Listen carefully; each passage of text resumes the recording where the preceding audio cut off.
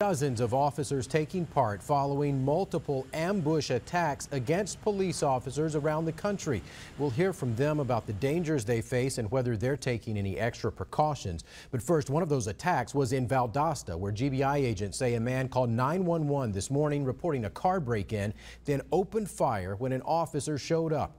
That officer and the suspect remain hospitalized tonight. WALB News 10's Re-Essa Buckels is in the newsroom with new information from a neighbor who ended up with a bullet in his apartment.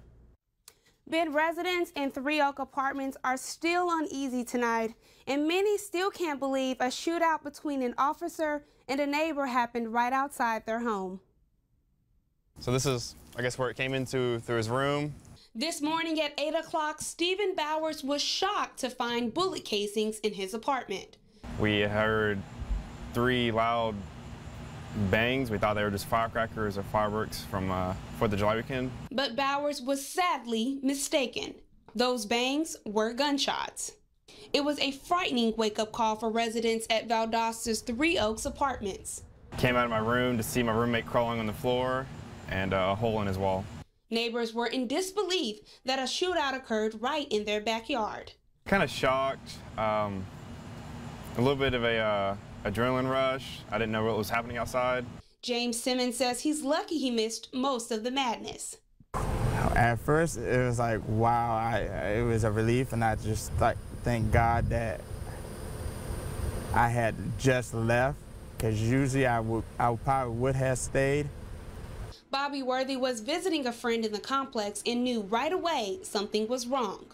I knew I counted 10, 15 police officers coming by, so I knew it had to be a shooting uh, for that caliber, that many police to come at that one time right behind each other. Bowers can't imagine anyone would call 911, then attack a responding officer. Kind of fishy.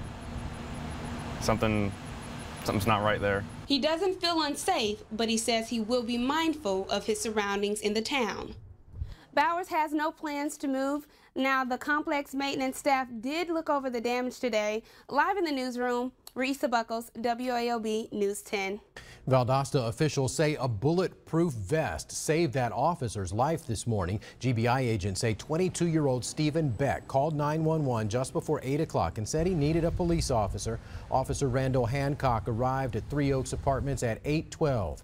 Investigators say as soon as he got out of his patrol car, Beck opened fire. Two bullets hit Hancock's protective vest. A third struck him in the abdomen just beneath his vest bulletproof vests. They serve a role, and I think when this is said and done, we'll see that that had a role in saving this officer's life. Officer Hancock returned fire, shooting Beck. Hancock is in the hospital in Valdosta tonight. Beck was transferred to a hospital in Florida. Both are expected to recover.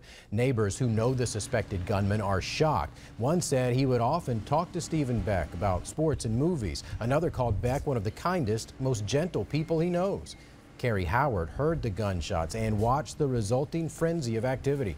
I, have realized it was something pretty uh, major with everybody coming out here. I mean, that was that was kind of scary, just being right here, this close to it, and um, and really not knowing what was going on, whether there was really somebody out there running around, you know. Howard shot this video from her cell phone minutes after the shooting. We broke news of the shooting on our mobile app this morning. You can continue to follow developments on the app and at WALB.com.